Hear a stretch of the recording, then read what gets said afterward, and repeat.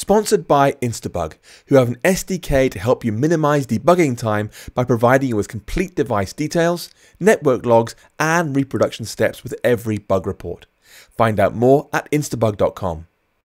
Hello, my name is Paul, and in these videos, we're going to build a complete SwiftUI application from scratch, while teaching a wide variety of the fundamentals of how SwiftUI actually works.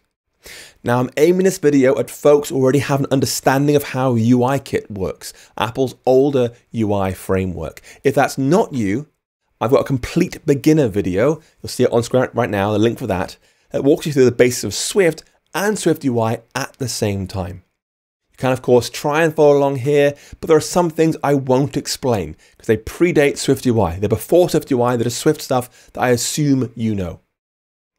Now the application we're going to build is called iDine. It's a menu ordering app with pictures, tabs, navigation, and much more. I've specifically chosen it to teach a wide variety of Swift UI skills in one application, so you learn a huge amount very quickly, while of course ending up with a real Swift UI app you can customize and ship if you want to. Now I'm running Xcode 12.4 here, 12.5 is also fine, as is any later Xcode release but not Xcode 11, for example, or earlier. 12 or later is what matters. Go ahead and choose Create New Xcode Project, then choose iOS and App, and then press Next. For your product name, please type in iDine. For interface, choose SwiftUI. For lifecycle, you want SwiftUI app.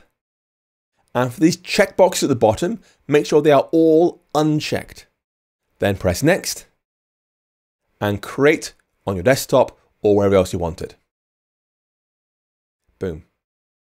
Now, there's a variety of assets you can download. You'll see a link on the screen right now uh, to download to give you a jump start in this program. I have them already in my assets folder here. You'll see it's helper.swift. This contains one small extension to let us load JSON files from our app bundle easily. This predates SwiftUI. This is just regular Swift code, so I'm not going to explain it here. Instead, just drag that into your project now. Boom. We also have menu.swift and order.swift. Two types, actually three in total if you count the third one in, in there, that describe our menu and one person's order from that menu. Again, this predates SwiftUI. It is old Swift code, so I'm not going to explain it here. Instead, just drag those two files into your project. Like that. We also have menu.json. This is the data for our project. You can see here, there's a breakfast menu with maple French toast, Stacko pancakes, power muesli, and more. These are all the things they can order from our menu. So go ahead and drag menu.json into your project. And finally, we have this images folder containing all the pictures required to make our project work.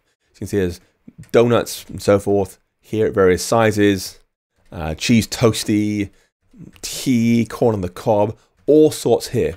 These are the assets for our program. So I'm going to go ahead and choose the asset catalog, assets or exe assets, and drag all the images from that directory into your Xcode asset catalog, just like so we've added all our code now, we've added our assets, and with that, we're ready to go, ready to start coding.